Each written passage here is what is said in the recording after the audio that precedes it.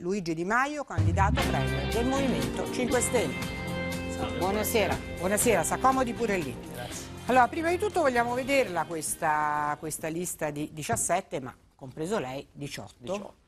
eh, potenziali ministri di un ipotetico governo 5 Stelle. Stefano Sandrucci. Palazzo Chigi. Il Movimento 5 Stelle ha deciso la squadra di governo che affiancherà Luigi Di Maio in caso di vittoria alle elezioni. 12 uomini, 5 donne, in tutto 17 ministri. Andrea Roventini, economista del Sant'Anna di Pisa, potrebbe guidare il Ministero dell'Economia. Di Maio, con lui torneremo a fare politica espansiva. Un altro economista, Lorenzo Fioramonti, ha lo sviluppo economico. 41 anni, è professore all'Università Sudafricana di Pretoria. Al lavoro Pasquale Tridico, docente di politica economica e del lavoro a Roma 3, che ha detto via Jobs Act congeleremo la legge Fornero. Allo sport invece un volto noto, il nuotatore medaglia d'oro Domenico Fioravanti. Il generale dei carabinieri, ex forestale Sergio Costa, al Ministero dell'Ambiente, ha indagato sulle discariche della Terra dei Fuochi in Campania. Salvatore Giuliano, il preside 2.0 dell'Istituto Majorana di Brindisi, potrebbe andare all'istruzione. Buona scuola, tutta da buttare e da riscrivere da capo. Armando Bartolazzi, ricercatore e oncologo dell'ospedale Sant'Andrea di Roma, invece alla sanità. Alla pubblica amministrazione Giuseppe Conte, è ordinario di diritto privato a Firenze. Un piano straordinario di riqualificazione del personale pubblico mentre la criminologa Paola Giannetakis potrebbe andare agli interni. Alla difesa Elisabetta Trenta, vice direttore del Master in Sicurezza all'Inc Campus di Roma. La professoressa di sociologia politica Emanuela Del Re potrebbe andare agli esteri, mentre alla giustizia Alfonso Bonafede, avvocato e deputato uscente. Alle politiche agricole il nome è quello di Alessandra Pesce, già dirigente del Ministero. Agli altri ministeri Mauro Coltorti, docente di scienze ambientali, Alberto Bonisoli, direttore della nuova Accademia di Belle Arti di Milano, Filomena Maggino, docente di statistica, Riccardo Fraccaro, deputato uscente. Governo ombra, governo alla luce del sole, a deciderlo saranno le elezioni.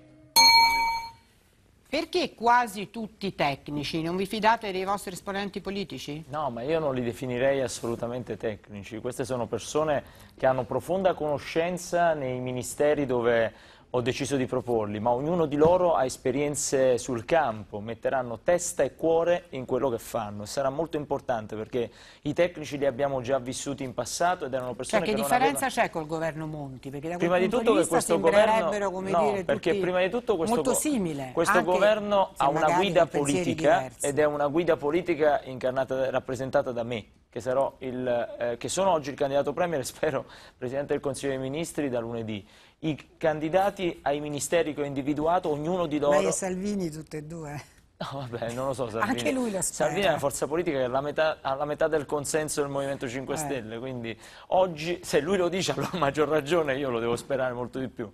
Le persone che ho individuato seguiranno il programma, la linea politica, ma soprattutto ognuno con la loro storia personale incarna i valori del Movimento, anche non essendo necessariamente vicino al Movimento. Voglio spendere una parola su Andrea Roventini, che è il nostro candidato al Ministero dell'Economia e Finanze. All'età di Macron ma già scrive con un premio Nobel come Stiglitz ed è nel top 10% degli economisti a livello mondiale.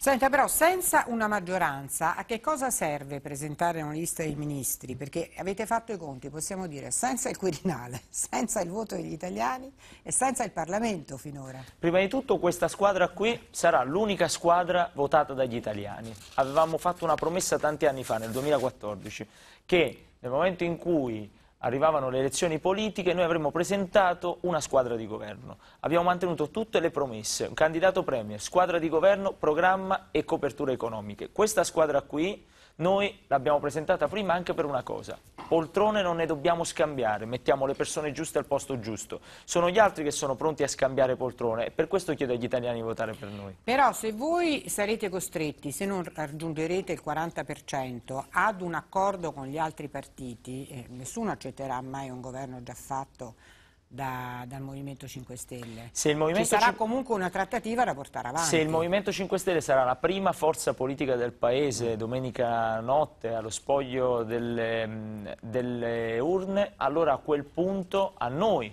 starà a fare la prima mossa. E vogliamo cambiare il metodo. Non esiste più che il giorno dopo per riuscire a far partire la legislatura si parla di sottosegretari, viceministri e ministri.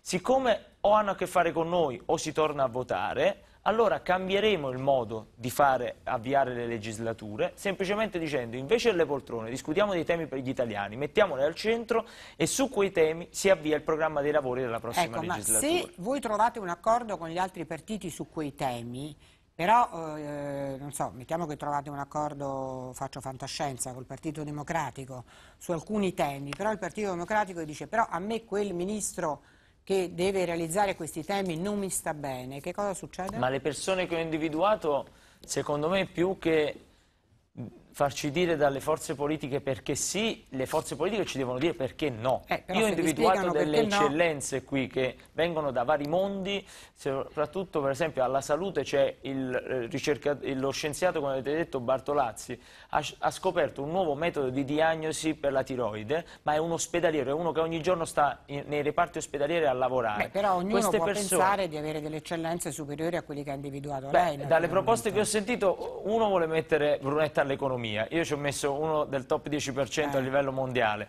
e l'altro vuole mettere Bertolaso alle emergenze dopo tutto quello che hanno combinato all'Aquila. questo è Berlusconi, per esempio Minniti all'interno vi piacerebbe? io in questo Di momento Battista non credo che il PD, ma io non credo proprio che il Partito Democratico stia in una partita di governo nella prossima legislatura, ma non perché spero che ci sia il centrodestra, io spero che gli italiani mi possano dare il consenso domenica per ignorarli e per questo voglio dire una cosa, nei collegi soprattutto del sud il testa a testa è tra noi e il centrodestra destra. Capisco che qualcuno voglia votare a sinistra perché si sente di sinistra, il problema è che quelli non sono più partiti di sinistra, quindi io chiedo a quei cittadini di non sprecare il voto a sinistra, ci diano una mano a mandare a casa Berlusconi, Salvini e Meloni.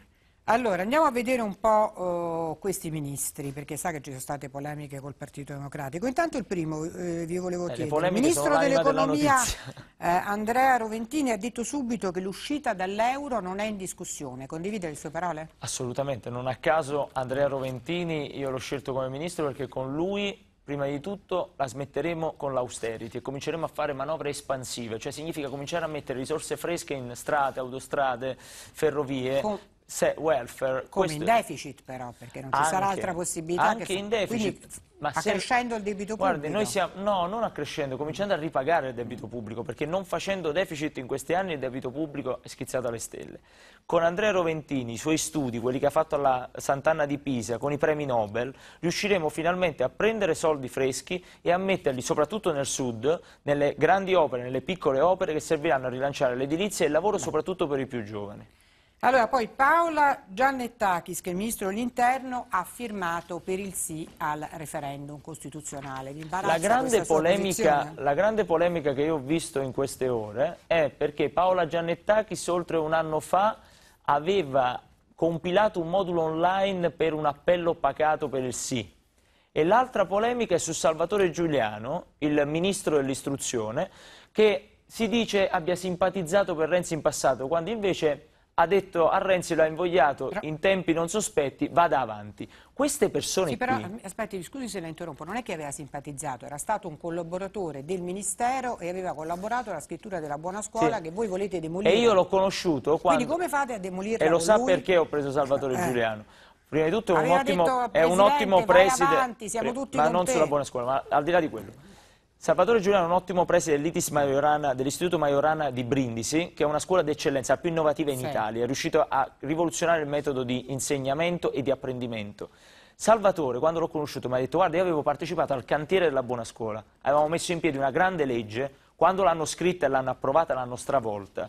Se Vengo con te al Ministero dell'Istruzione, insieme aboliremo la buona scuola e Salvatore Giuliano passerà alla storia, se gli italiani vorranno, come il ministro dirigente scolastico che avrà abolito la buona scuola. Però era quello che comunque fino, a, fino alla volta ma no, ma lei conosce, me, mi scusi, lei conosce meglio di me queste cose. Si chiamano gli esperti, si fanno scrivere i progetti e poi quando e poi scrivono le leggi si tradiscono i progetti allora, degli esperti. C'è un'altra eh, vostra candidata all'agricoltura che si si chiama Alessandra Pesce, ecco di quella voglio farle sentire che cosa dice il segretario del Partito Democratico.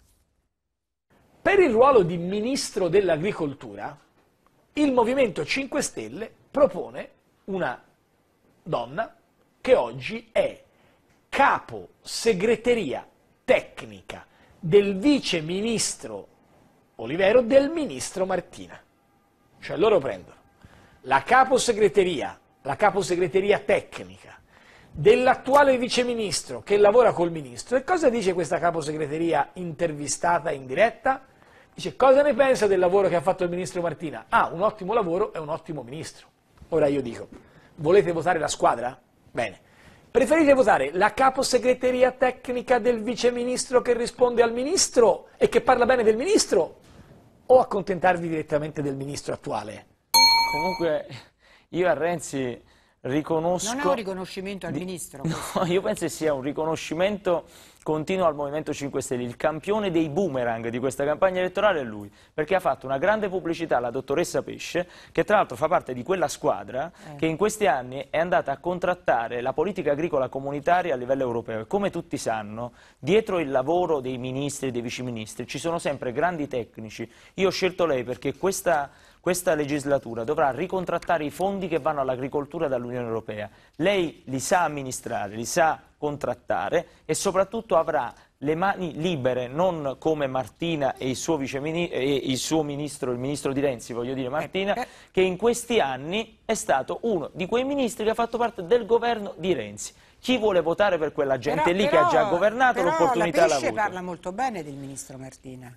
Alessandra Pesce ha detto che per lei eh, è stato fatto un buon lavoro ma bisogna fare molto di più. Eh beh, certo, quello... e, quello, e, quel molto di più, per questo io ho chiamato Alessandra Pesce, perché quel molto di più potrà farlo. Però trattare così una persona che lavora anche per un ministero è veramente no, indegno. No, ma lui lo dice forse per far capire che insomma, la sua squadra poi non era così da buttare. Ma l'ha sminuita dicendo volete votare per Martini, eh. tra l'altro l'agricoltura non è che c'entri molto, oppure il suo capo della segreteria tecnica con questo tono dispregiativo. Questa gente ha studiato, è una dirigente di ricerca, mostri rispetto verso queste persone. Senta, c'è una squadra che lei avrebbe voluto, una squadra, scusi, un nome che avrebbe voluto portare in squadra e non è riuscito? Ovviamente in questo caso vige la riservatezza, no, vige la riservatezza ma eh, le posso dire che c'è stato un fenomeno molto molto entusiasmante, cioè mm. tante di queste persone sono venute loro da me, non sono andato io a reclutarle, diciamo, a, a pregarle. Queste persone quando io ho fatto l'appello pubblico loro hanno risposto e mi hanno detto sono a tua disposizione. Ovviamente io con questa gente ho già lavorato in passato, cioè le conoscevo, altrimenti non avrei mai preso sconosciuti gruppi, nella nostra squadra. Ieri Beppe Grillo ha scritto forse è finita la mia epoca del vaffa, eh, anche lui adesso in questa chiave di rassicurazione nei confronti dell'elettorato. No, credo che... Cosa sarà da adesso in poi il Movimento 5 Stelle? Quello che è sempre stato, cioè una forza... Al di là del fatto che ottenga o non ottenga il governo. Il Movimento 5 Stelle è una forza in evoluzione continua, si chiama movimento anche per questo, è continuamente in movimento e in evoluzione, ma non abbiamo mai tradito quelli che sono i nostri principi base, cioè i nostri futuri parlamentari, anche i nostri futuri ministri continueranno a rispettare le regole del Movimento 5 Stelle, quelle che riguardano i privilegi, quelle che riguardano le condanne, quello che riguarda la questione morale, grandi temi. Ma voglio dire una cosa, molti dei temi che abbiamo nel nostro programma oggi rappresentano proprio quei temi che la sinistra ha tradito, come altri che ha tradito la destra. Vorrei dire ai tanti giovani anche che stanno per votare il centro-sinistra, ma stanno per sprecare il loro voto perché è un voto che va a Berlusconi, di leggersi il nostro oh, programma e di sapere una cosa, che stiamo per realizzare alcune cose che dovevano realizzare i loro partiti e non l'hanno mai fatto. Ecco, ma lei esclude, se non doveste avere una maggioranza, categoricamente di eh, poter portare avanti in Parlamento un'alleanza con i 5 Stelle? Un'alleanza con i 5 Stelle? Eh, scusi, con la, con la Lega? Ma io escludo categoricamente qualsiasi tipo di alleanza. Spero di avere i voti domenica per ignorarli, i si partiti e mandarli all'opposizione. Ho sempre detto, al di là delle singole forze politiche, se non dovessero esserci numeri la sera delle elezioni, eh. di poltrone non se ne parla, ma si fa un appello pubblico a tutte le forze politiche e si dice da oggi si comincia a lavorare per la gente fuori dai palazzi, non quelli dentro i palazzi. Ditemi i temi su cui volete lavorare. Certo, con la Lega c'è un problema. Non è semplice pensare a questa forza politica come la ex Lega Nord. È sempre la Lega Nord, ma soprattutto quella Lega che diceva Vesuvio lavali col fuoco, Etna lavali col fuoco, e non credo neanche i cittadini del Nord abbiano mai pensato.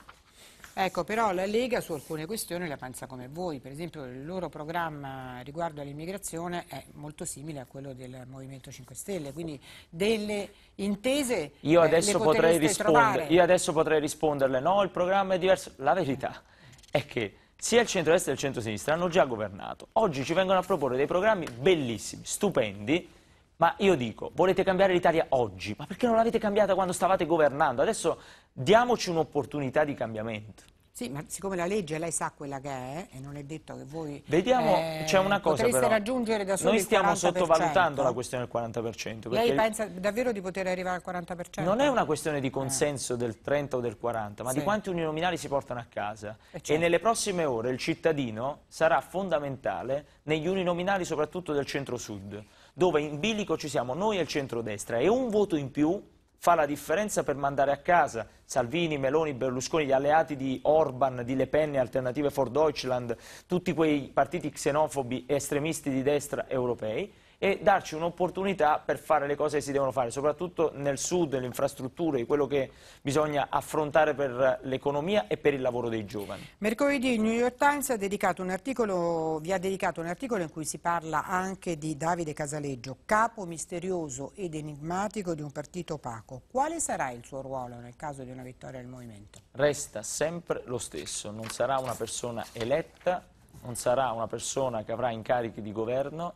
Davide Casaleggio è un patrimonio del movimento che ha sempre portato avanti insieme a suo padre lo sviluppo delle nostre piattaforme tecnologiche. Oggi siamo la prima forza politica del Paese, senza avere sedi e senza avere strutture di partito, perché utilizziamo un sistema operativo che si chiama Rousseau, che è un'invenzione tecnologica a livello mondiale che Davide e suo padre hanno sviluppato.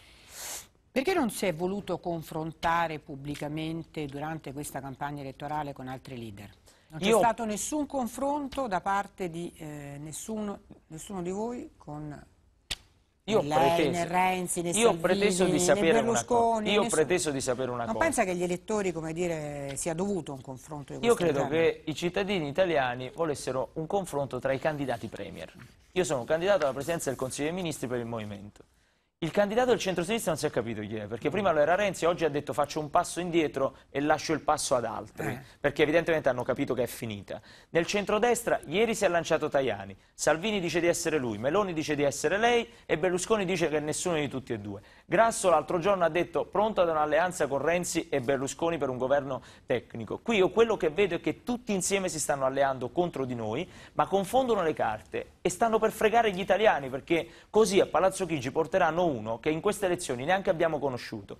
Da noi, votando per noi, sanno gli italiani che si vota a carte scoperte. Conferma il limite dei due mandati? Lo confermo Se anche lei per- sarà nominato... Lo confermo anche perché secondo me è una grande opportunità per il Paese. I cittadini devono sapere che, e sanno che il Movimento 5 Stelle ha un limite di due mandati. Fai due mandati, un contratto a tempo determinato per fare le cose. Se non le sai fare, dopo dieci anni te ne devi andare a casa. Se non sarete il primo partito, perché potrebbe esserci la prima coalizione al posto vostro, cioè la coalizione di centrodestra, no? Ma voi sarete Ma quella non è una coalizione. una coalizione che potrebbe raggiungere il 40%. Che cosa farà in quel caso? Io ne Movimento 5 dubito, non sto pensando a questo scenario, anche perché è già successo in Sicilia tre mesi fa, che si è sfaldata la coalizione di centrodestra due settimane dopo le elezioni. Salvini è già uscito dalla maggioranza, solo che nessuno ne parla del caos Sicilia che sta avvenendo anche in queste ore. 100 giorni non si è fatto nulla in quella regione, solo Sgarbi, ministro della cultura, che sta nel mio collegio paracadutato in provincia di Napoli a offendermi ogni giorno. Ma alla fine l'unica cosa che posso dire è che quella coalizione la sera dopo le elezioni si sfalderà in mille pezzi e contribuirà a creare ancora più caos. Dateci l'opportunità di ignorarli. Noi possiamo punto- assicurare un po' di stabilità all'Italia, lo so che è paradossale, però oggi l'unica forza politica che può assicurare un po' di stabilità istituzionale siamo noi, perché loro sono delle ammucchiate di 3-4 partiti che litigano ogni giorno, non andranno d'accordo dopo come non sono andati d'accordo prima. Vedremo adesso poi se anche voi non, se- non sarete costretti in un modo o nell'altro, in ogni caso, a trovare delle alleanze elettorali in Parlamento. dubito. Di tutti i partiti che ci sono, ce n'è uno con liberi uguali, per esempio, potreste cercare di dialogare di più che con gli altri? Guardi, questi sono No. temi, secondo me, che affronteremo da lunedì per una semplice ragione. Non conosciamo la configurazione del Parlamento e non sappiamo quanti seggi prenderanno questi signori e soprattutto io di loro non mi fido, quindi dovremo trovare un modo per vincolarli alle cose da fare. Un'ultima domanda rapidissima. Domani giornata di silenzio elettorale, che cosa farà? Io domani sono qui a Roma e facciamo una riunione con il mio staff per organizzare lo spoglio e tutta la macchina che c'è a livello nazionale dei rappresentanti di lista. Va bene, quindi lavora anche domani. Sì. Bene, allora, Grazie. grazie a Luigi Di Maio. Grazie mille, buon lavoro. Buon lavoro e noi adesso